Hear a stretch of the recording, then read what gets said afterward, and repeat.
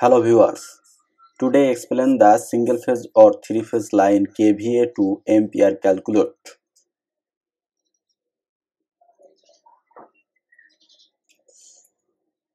First, three phase transformer. Three phase transformer. This transformer is start to delta connection means three phase input or three phase output input three wire और output four wire input red yellow blue eleven K V voltage और out going four forty voltage red yellow blue और neutral और three phase line five hundred K 500 A transformer ampere value calculate means three phase transformer show 5 kVA transformer. Convert to ampere to transformer three phase line.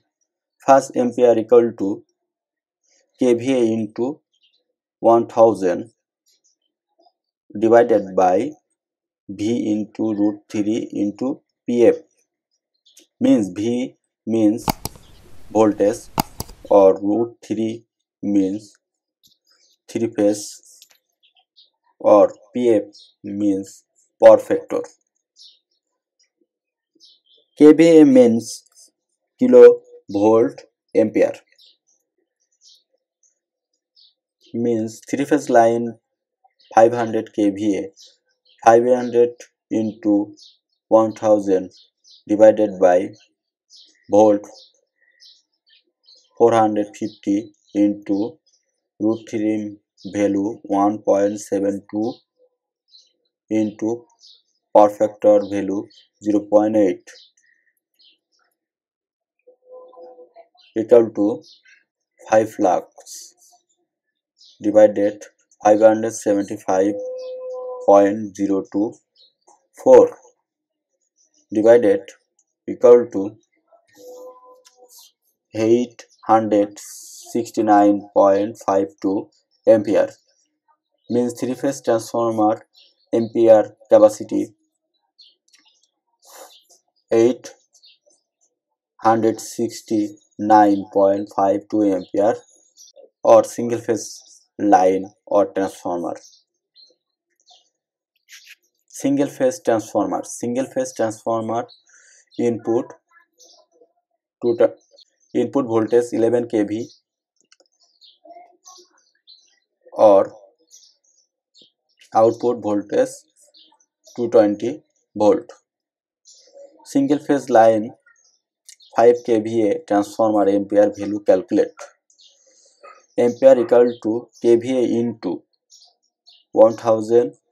divided V into P F means V means voltage P F means power factor और K V A five into one thousand divided volt two twenty volt into power factor value zero point eight calculate the आप five thousand down one hundred seventy six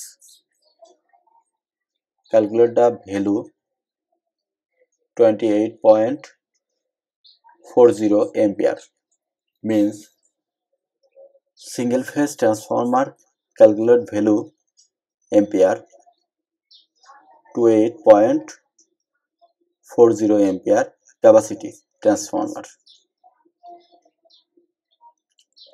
very simple three phase line or single phase line kVA to ampere calculate. Thank you